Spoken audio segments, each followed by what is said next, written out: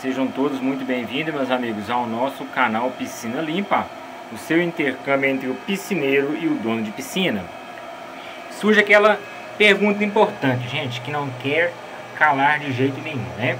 Será que o ozônio substitui o cloro, gente? O que, que vocês acham? Eu vou te dar uma resposta agora interessante. Não substitui o cloro, gente. O ozônio não substitui o cloro, né? De toda forma, vai diminuir a quantidade de cloro, né? Mas de toda forma você tem que usar um sanitizante. Por quê, gente? Porque o ozônio por si só ele não mata todas as bactérias presentes na água, né? Então ele precisa, é, nem que seja de um pouco de cloro, gente, mais ou menos uns 2 ppm de cloro ali para poder fazer a desinfecção da piscina. Né? Agora, se você não quiser usar cloro, você pode substituir por um sanitizante da sua escolha, né? Nessa piscina aqui eu uso o M20, gente, o M20 da Maresias, né? E você pode usar também da Aqua... Tem um da... Como é que chama só? Aqua Life.